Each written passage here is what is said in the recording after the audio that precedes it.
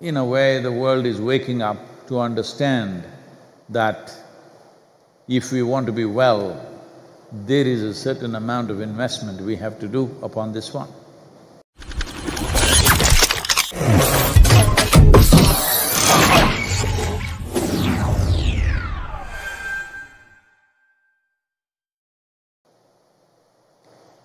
So people not being able to cope with this psychologically and emotionally, cracking up under the uncertainties of their economic future, uncertainties about their professional life, and many of them unable to put bread on the table. The problems are mounting and becoming more severe by the day across the world. Well, this mental pandemic is one thing we do not… mental illness pandemic is one thing that we do not need because this viral pandemic is bad enough. The economic downturn is bad enough. And the struggles of people to make a living is painful.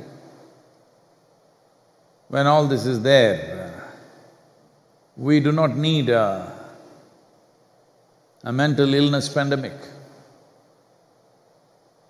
But unfortunately, that is also looming as an imminent possibility.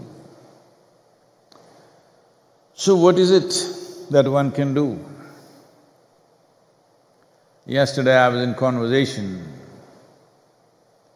with a, a few experts in this mental illness mm, you know, doctors who are experts in this field. And all of them in one voice saying that it's going up like never before. At the same time, there was a doctor who was sharing that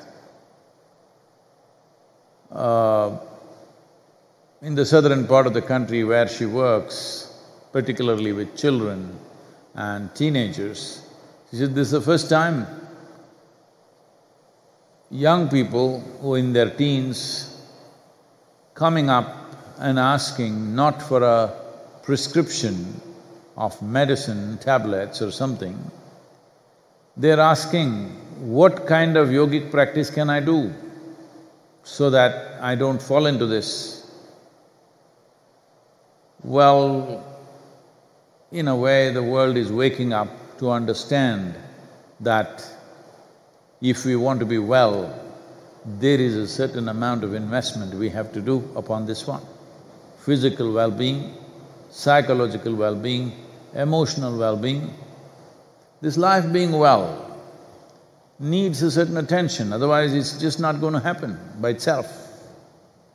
Well, naturally certain things have come to you, but how naturally are you living, that's a big question. There are many aspects to this. Well, teaching practices, simple practices to boost the immune system, to bring emotional balance and psychological stability. These practices are out there. There is substantial scientific and medical data to show they are one hundred percent legitimate. They are not just claims.